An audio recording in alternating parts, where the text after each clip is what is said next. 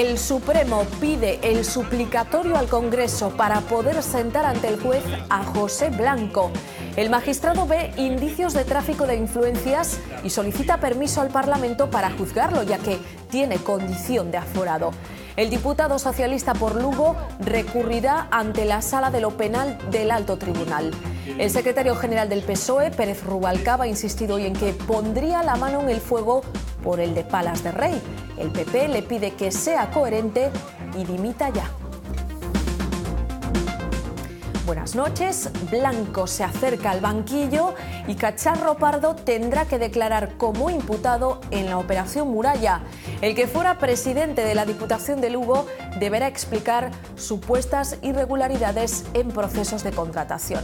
Hoy era día de rendir cuentas. En Ourense su alcalde se sometía por segunda vez a una reprobación y en esta ocasión suspendía el examen.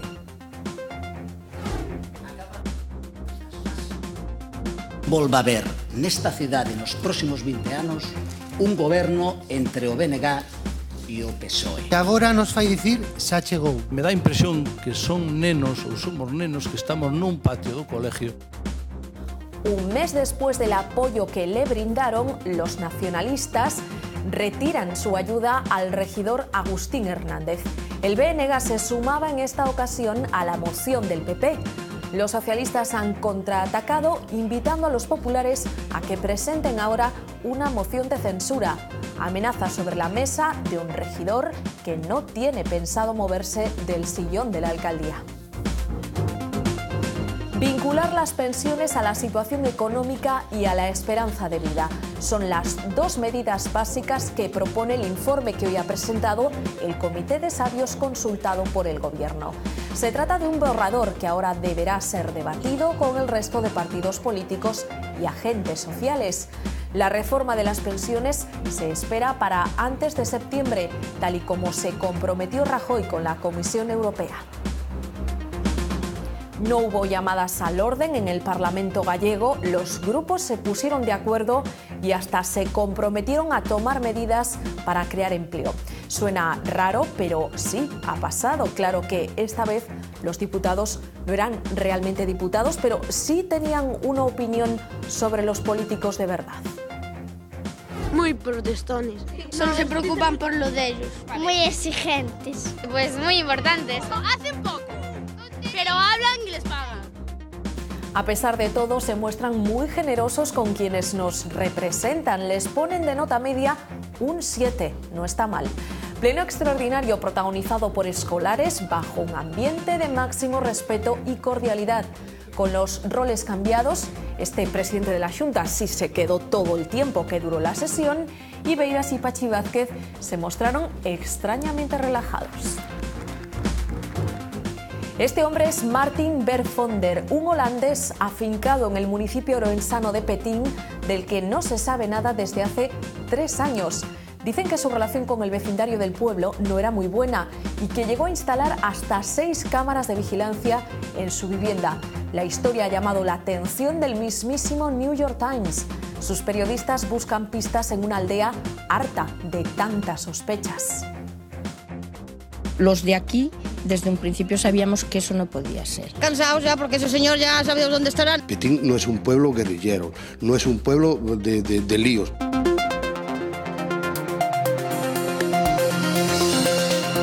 Si el juez decide cursar el suplicatorio, pediré al Congreso la concesión del mismo. Pues así lo ha decidido el juez. El magistrado del Tribunal Supremo le hace caso a la Fiscalía y pide permiso al Congreso de los Diputados para juzgar a José Blanco. Lo hará solo por tráfico de influencias y no por prevaricación, como también pedía el fiscal. La decisión será recurrida por el diputado lucense ante la Sala de lo Penal del Alto Tribunal. Será el que tenga la última palabra sobre la posible apertura de un juicio oral. Blanco aseguró en su día que renunciaría a su escaño como diputado por Lugo solo cuando el juez decidiese abrir procedimiento contra él. Hola, ¿qué tal? Los hechos que podrían llevar a Blanco ante el juez tuvieron lugar en diciembre de 2010. En ese momento, su amigo José Antonio Orozco, presidente de la empresa de transportes Azcar, le pidió al ministro que interviniese para conseguir una licencia en San Boy de Llobregat.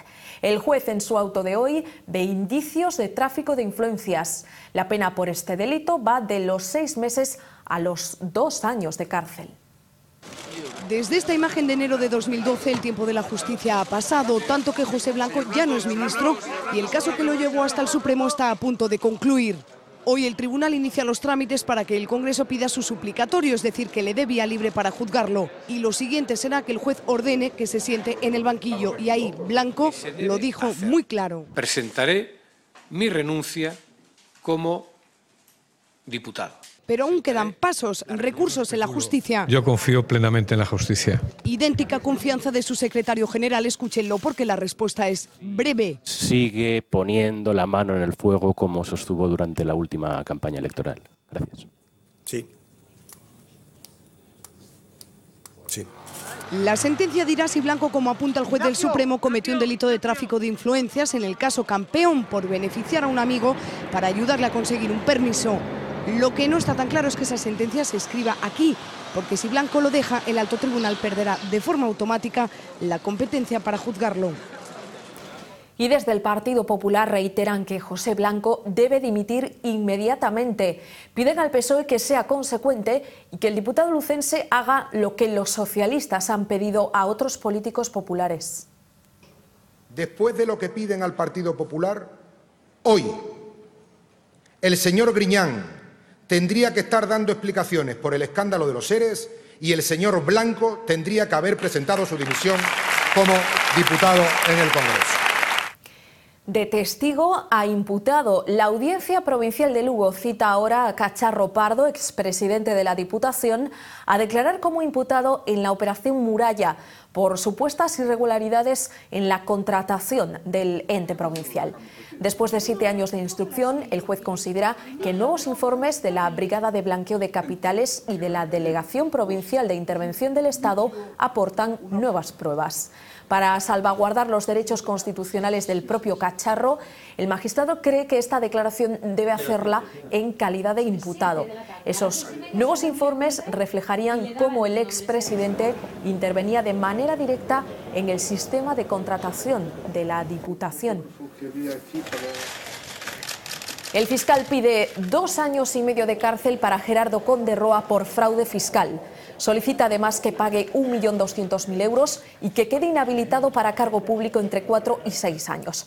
Es la petición del Ministerio Público para el exalcalde de Santiago por no haber declarado el IVA de la venta de 61 viviendas. En su día, Roa aseguró que nunca había tenido intención de defraudar y que si su promotora no pagó el IVA fue porque estaba en quiebra debido a pérdidas millonarias.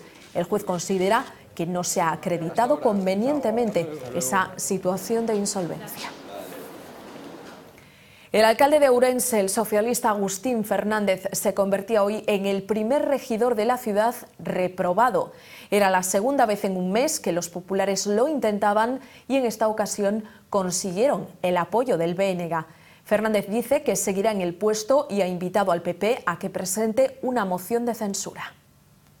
Sobre la mesa de los populares el objetivo estaba claro, insistir en la moción de reprobación que presentaron hace apenas un mes. Entonces los nacionalistas se lo pusieron fácil al alcalde, pero y las sensaciones eran otras. Converteuse en un triste notario dos escándalos, da división, da paralización. E agora nos fai dicir xa chegou. Me dá impresión que son nenos ou somos nenos que estamos nun patio do colegio. Y al mediodía, en forma de moción urgente, se confirmaban los peores presagios del Ejecutivo local. 28 días después de salir en su rescate, el BNG hoy sí se sumaba a la moción popular y la gestión del alcalde quedaba reprobada por mayoría.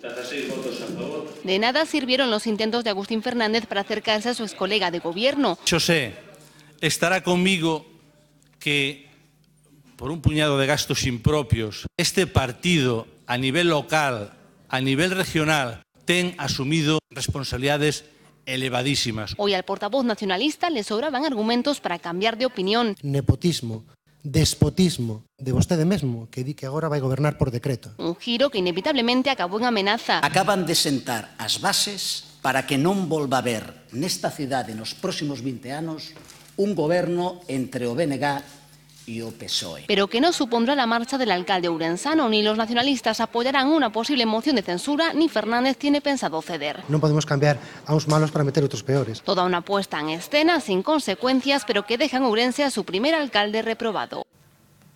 Hoy ha habido pleno extraordinario en el Parlamento gallego, tan extraordinario que los diputados lograron ponerse de acuerdo y comprometerse a que no haya tantas familias necesitadas y sí más trabajo. Todo se desarrolló en un clima de respeto y sin una sola llamada al orden. ¿Habrán recapacitado nuestros políticos, los de verdad? Comenzaba el pleno con el hemiciclo lleno y con unos diputados que apenas llegaban al estrado. Diputados por un día, escolares en el rol de políticos. Pero ¿qué piensan de ellos? Muy protestones. Solo se preocupan por lo de ellos. Muy exigentes. Pues muy importantes. Hacen poco, pero hablan y les pagan. Vimos a un presidente de la Junta que se quedó a toda la sesión, a un Beiras extrañamente tranquilo, a Pachi Vázquez relajado. Pero ¿saben quiénes son? ¿A qué políticos conocen? Fijo. A Feijó. ¿Y a quién más? Pachi Vázquez. A Beira. A Feijó, al PSOE. ¡Al Rajoy! Fue una sesión donde nadie cruzó líneas rojas, sin insultos, sin llamadas al orden, en la que se defendió la libertad, la autonomía y la amabilidade. Os nosos dereitos rematan onde empezan os dos demais. Mensajes claros antes de la votación de la que salió un compromiso. Comprométome a que non haxa tantas persoas necesitadas e que teñan traballo.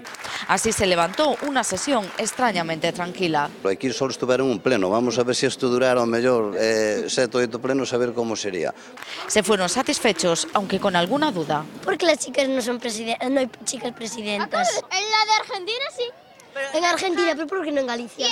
Por cierto que a la hora de poner nota a los diputados son más generosos que el CIS. La media es un 7. Los vecinos de Oza y Cesura se han despertado hoy siendo habitantes de un concello compartido, de un único ayuntamiento. Y ya con carácter oficial, el DOGA publicaba hoy el decreto ley que aprueba la fusión, la primera de los últimos 40 años en Galicia y parece que la primera de más uniones. Hoy el presidente de la Diputación de A Coruña se expresaba en la misma línea que Feijó. Ha dicho que esto es el punto de partida porque son necesarias más fusiones, tanto a nivel autonómico como nacional. Se enorgullecía además de que su institución vaya a ser la primera que va a firmar un convenio con el nuevo ente. Una gestora asumirá el control del ayuntamiento dentro de una semana. Estará integrada por nueve representantes del Partido Popular, dos del Partido Socialista y otros dos del Bloque Nacionalista Galego. Eu espero que as fusións que poidan vir no futuro leven menos tempo que esta. Tamén me gustaría que os partidos que estaban na oposición pensen un pouco máis nos veciños e deixen os intereses partidistas de lado. Que vai ser un concello bon e que vai ser un futuro moi bon para, para eles. Por fin chegou o ansiado momento, como vemos o parto sí que é verdad que tardou bastante, eh, tuvemos varias complicacións, tuvemos que ir moitas veces a facer ecografías. O que conseguimos é facer concellos hostibles e por outra parte darlle os servicios que realmente merecen eh, os nosos veciños. Cinco días después de la reducción de servicios de tren en Galicia, continúa el desconcierto entre los usuarios. Sin embargo, el Ministerio de Fomento le quita importancia, niega falta de información y asegura que solo se ha suprimido el 7% de las frecuencias. La ministra y el presidente de Renfe volvieron a defender hoy la medida. Curiosamente lo hicieron en la firma de un convenio para convertir el ferrocarril en un impulsor del turismo. Un acuerdo que permitirá viajar a peregrinos y viajeros de larga distancia por 49 euros durante 10 días por toda Galicia. ¿En qué trenes? Fomento insiste en que Galicia es de las comunidades donde menos frecuencias se suprimen y garantiza que en todas las estaciones hay otro medio de transporte público alternativo.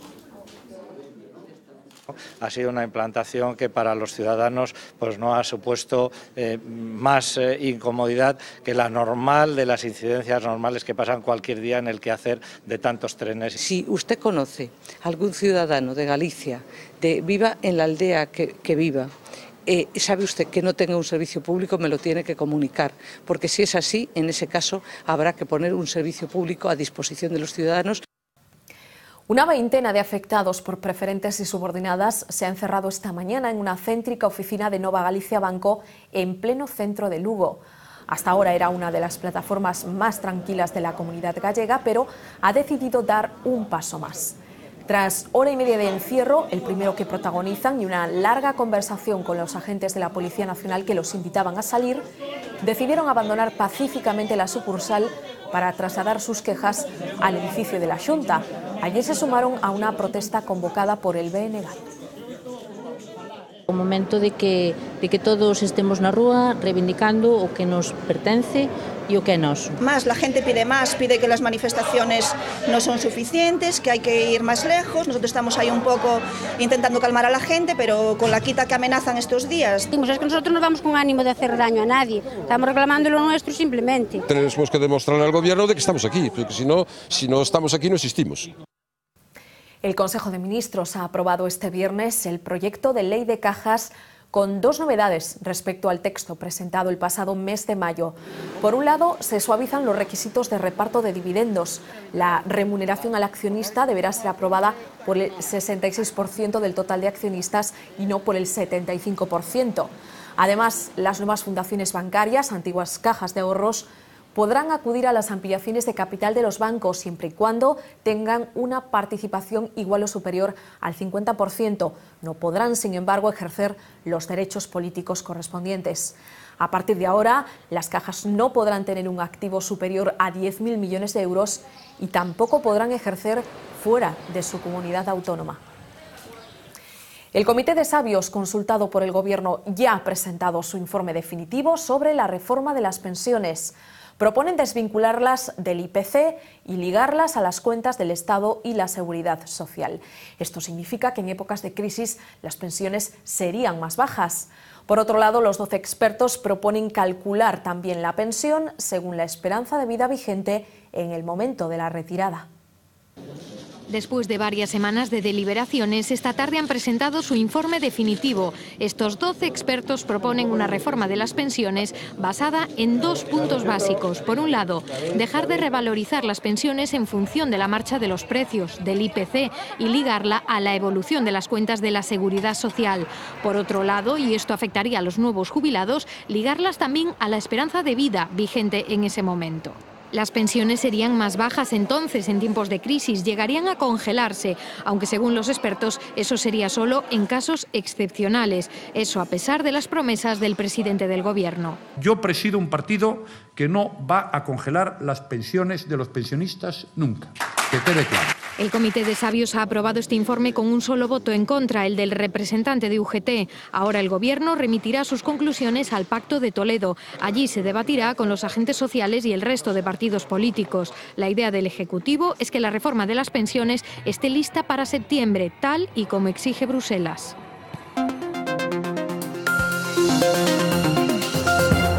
El 93% de los niños gallegos de tres años ha conseguido plaza en el colegio deseado. Pero ¿qué pasa con el 7% restante? Tener que escolarizar a los hijos en un centro que no es la primera opción puede obligar a toda la familia a embarcarse en verdaderos croquis que a muchos seguro les sonarán familiares. Es el caso de Raquel. Se encuentra entre la espada y la pared porque los horarios del colegio que le asignan a su hija no son compatibles con los de su trabajo. Un sorteo y la letra U como ganadora. Así comenzaron los problemas para Raquel. Esa U colocó a su hija Daniela en el grupo de 21 niños que se han quedado sin plaza en el colegio Valle Inclán de Oleiros. La segunda opción para ella es a Rabadeira, a 5 kilómetros de su casa y con un problema añadido. Non temos garantía de praza de comedor. Eso que nos implica a nós? Pois que vai a ser moi difícil poder escolarizar a nena, porque o noso horario laboral é de 9 a 4, e a nenas a las dúas. La tercera opción para Daniela sería un colegio en Mera, a más de 10 kilómetros de su casa y de la guardería a la que va Candela, su hermana de 14 meses. Allí sí tendría comedor, pero no transporte. Sin familia cerca para recoger a las niñas, la suerte de que tanto Raquel como su marido tengan trabajo se ha vuelto un problema. Non me podo permitir reducir unha xornada, non me podo permitir unha persona na casa e necesito unha solución. Raquel ya ha llevado su caso al ayuntamiento y a varios departamentos de la Junta, pero es pesimista. Un ocupase de escolarizar, outro ocupase de comedor, outro ocupase de transporte, non hai ninguén que mire unha situación personal. O problema non o contempla a lei. Un dos objetivos é conciliar a vida familiar ca laboral e que todos os nenos teñen dereito á igualdade. Neste caso non é certo. Daniela y sus padres son un claro ejemplo de lo difícil que puede resultar conciliar vida laboral y familiar. Un atracador con 82 detenciones a sus espaldas, navaja en mano. A priori daría miedo encontrarse por la calle con semejante personaje, pero nuestra siguiente protagonista tiró de valentía o de imprudencia, según se mire. Una vecina viguesa de 60 años fue atracada a punta de navaja en la avenida de Madrid de la ciudad olívica. El tipo en cuestión le ordenó que le diese todo el dinero que llevase encima.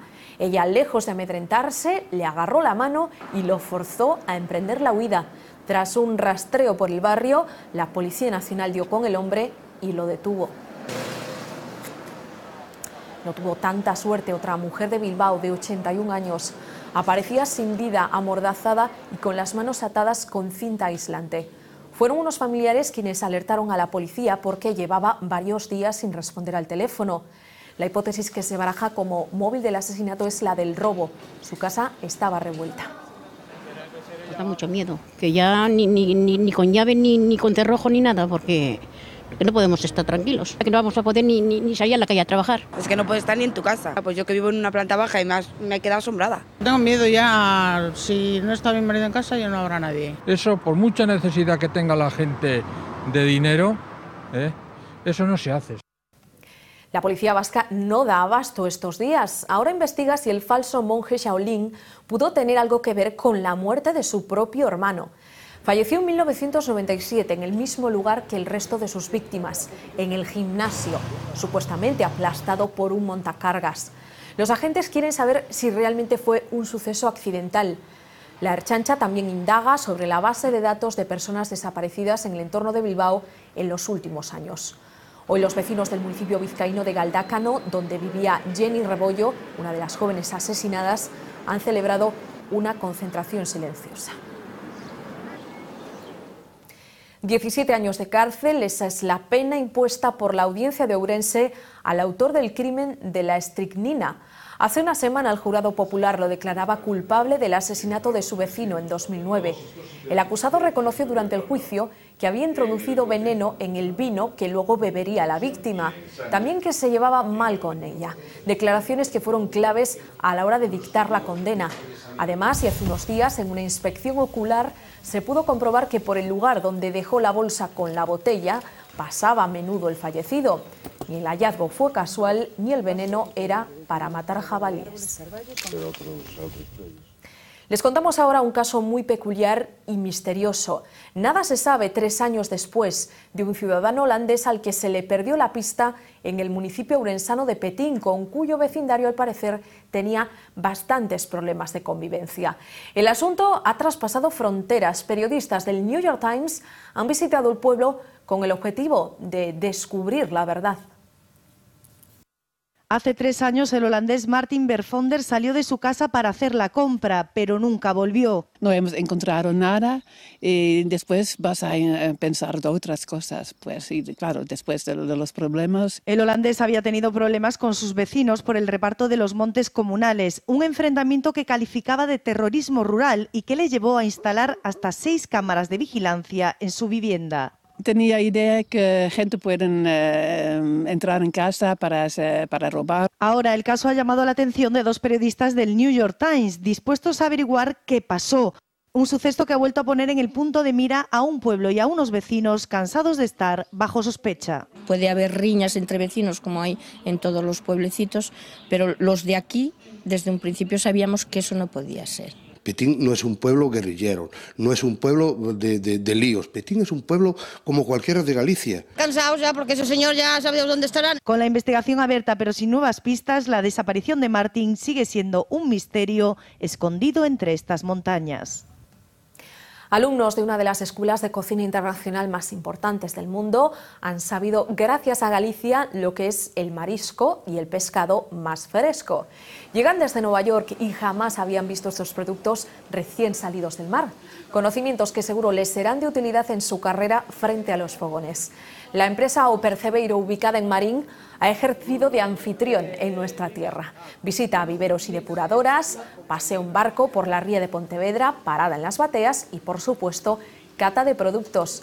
Actividades incluidas en una iniciativa que ayudará a reforzar lazos entre un lado y otro del charco. Quién sabe si nuestros mejillones acabarán en los platos que elaboren estos jóvenes aprendices de chef.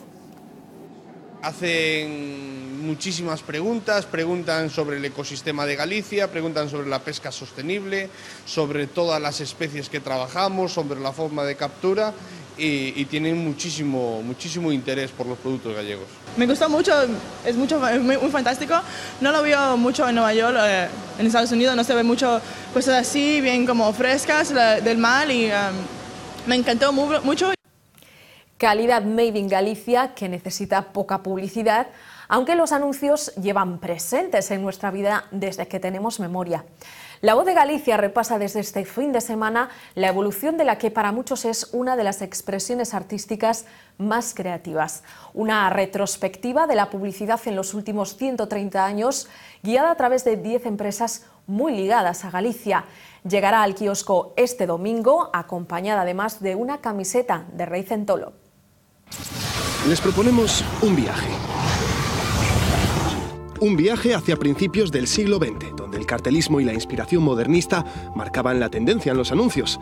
Un vistazo a la industria conservera que sacaba músculo para atraer desde el glamour del propio Hollywood hasta los instintos más felinos. Eh, bueno, vais a topar con curiosidades históricas, sobre todo eh, con reseñas, con un poco, por decirlo de alguna manera, de dónde vimos a dónde vamos. Un repaso desde cuando el cuenta kilómetros de la industria automovilística en Galicia marcaba todavía cero hasta la revolución de los nuevos motores llegados desde más allá de los Pirineos. Desde la cerámica centenaria hasta jabones isleños con fama internacional. De las formas modernas de comunicarse basadas en la tradición más gallega. A publicidade é, por unha parte, é unha mostra do desenvolvemento pois, industrial dun, dun territorio e incluso social. Non deixa de ser un froito de, do que unha sociedade determinada pensa nun momento concreto. 10 empresas y su historia a través de 130 años de publicidad condensadas en las 10 entregas que verán la luz junto a la voz de Galicia a partir del domingo.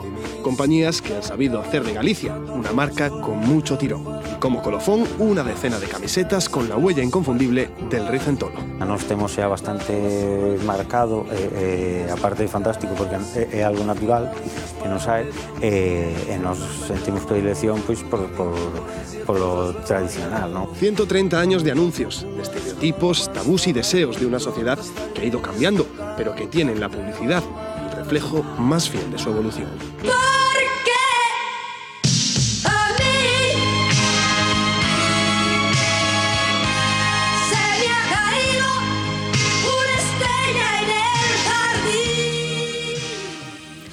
Claro que vendernos, sabemos vendernos. No se lo pierdan a partir de este domingo.